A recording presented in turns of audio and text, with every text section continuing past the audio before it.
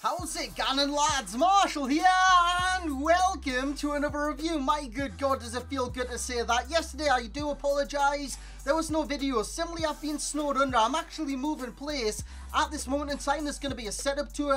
There's going to be a Q&A for 100k. There's going to be all sorts lads. And I'm in the process of doing that. So once again apologies for no video yesterday. But today we have a big player. It's not Bill. It's not Messi. It's freaking Pelle Graziano, the Italian Pele. Guys, if you do want any cheap MSP, PSN, head over to g2a.com, use that code M89, get yourself a discount, every single link you'll need, right there in the description below. Now, his price range is quite cheap, 9.9 to 70k on the Xbox and the PlayStation, so he is affordable by everyone on this game. 89 position and sensational, 90 reactions, 95 strength, that is where it stops with these mental and physical attributes. 55 acceleration and 57 sprint speed. Skill attributes 82 ball control sensational. Look at the dribbling 69 you can say what you want about that, but that is terrible. 86 finishing, 99 head accuracy in the air. This guy is very good, very accurate, and he does win the majority of headers, given that he is 6 foot 4 tall. Now, it didn't actually score any headers with this guy, even though he was good in the air. His finishing was a letdown, even though it's quite high. Honestly, when he did get in the area, got into these kind of positions, the goalkeepers are pulling off miracle saves. Whether that may be not playing on FIFA for a couple of days and I've been off my kind of cool. But, honestly, Graziano Pelle, his finishing wasn't Pele-esque. Honestly, it wasn't great, hence why I've got shooting as a pro and not finishing.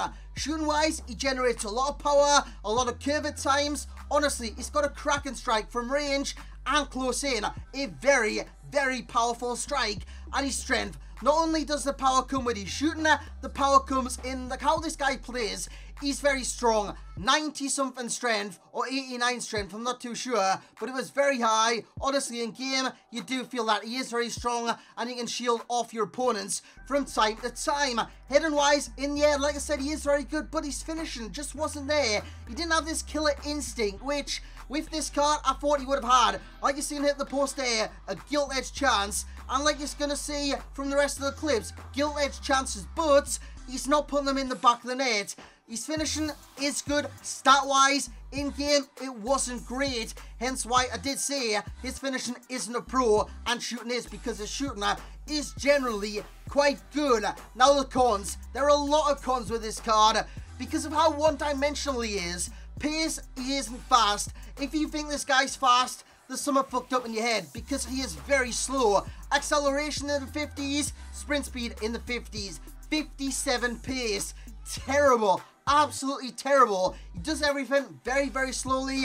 And all in all, he is very slow on this game, dribbling-wise. He just, he's like a robot. He's like this bloody robot that hasn't been oiled. He's so damn stiff. It's ridiculous.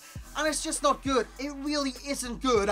And his skills, two star. That's terrible. He is very one-dimensional because of that. And his dribbling and his pace. He's very one-dimensional is this card. So overall, lads, you will get a rating of a 6.4 and a value of coins of a 6.6. If you wonder where Bill is, where Messi is, they will be coming very, very soon. Lads, I hope you have enjoyed this review. If you have, smash the hell out of that thumbs up button. Subscribe if you are new around here. And as always, lads, I will catch you all next time.